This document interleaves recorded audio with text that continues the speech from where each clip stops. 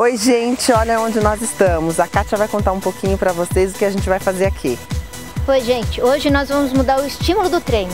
Nós vamos fazer um circuito utilizando esses aparelhos que a gente encontra em qualquer dessas pracinhas. Dos exercícios que nós já fizemos, vamos acrescentar um exercício muscular.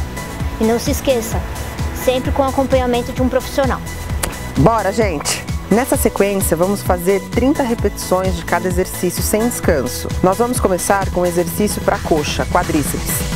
É só empurrar e se achou muito fácil, pode fazer unilateral, uma perna de cada vez, e vá para o próximo.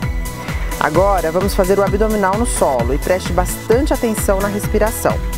Vamos fazer um exercício para as costas, mais conhecido como remada.